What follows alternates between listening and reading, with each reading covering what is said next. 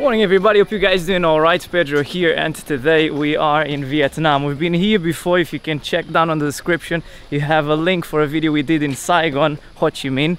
Uh, and it has been a few years I don't come here to Vietnam.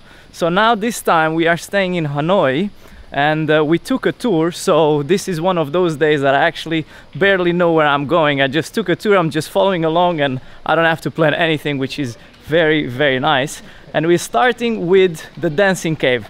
This is from Hanoi city center. It's about a two hour drive. And uh, Tung said Hi. it's a 500 step hike. But I really doubt that. I think it's more than a thousand steps hike. So it's probably gonna be a very nice view from up there, so let's do this.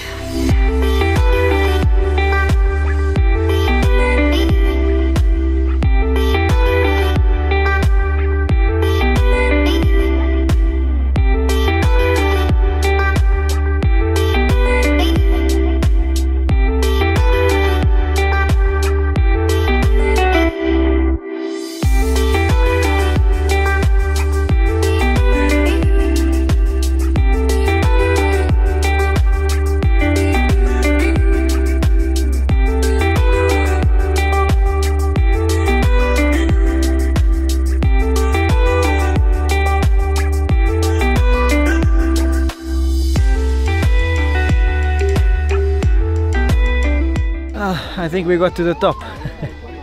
Such a nice view.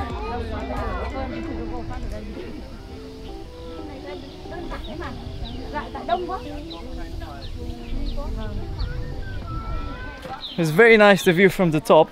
Now we're going to that place there, which is a garden of lotus flowers. That's our second stop for today. And after that, we're gonna take a boat tour. Tung told us, the tour guide, that the boat tour is gonna take around two hours. Then we're gonna have some lunch, and that's gonna be it for today. So let's check these flowers, and we keep on going.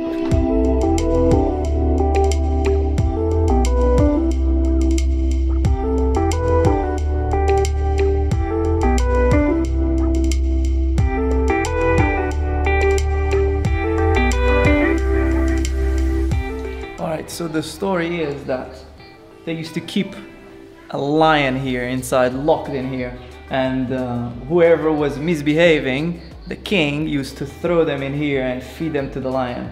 And um, yeah, so I guess a lot of people have died in here, eaten by the lion. I guess this lion, this lion probably grew quite big, eating all those people. So um, yeah, now they built a well in here, and um, there's a few steps, and it's just water and the well there in the middle. It's quite a, if you look at it, it's quite a creepy place. It looks, it reminds me of the movie of the Ring.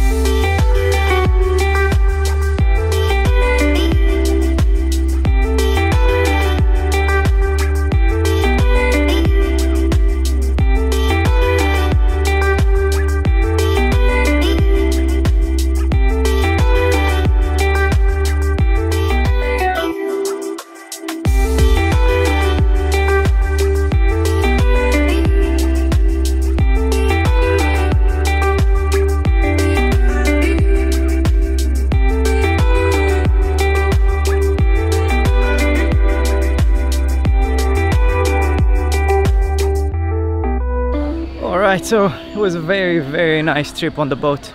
It took us about exactly two hours, maybe a bit more than that. We went through some caves as you guys saw.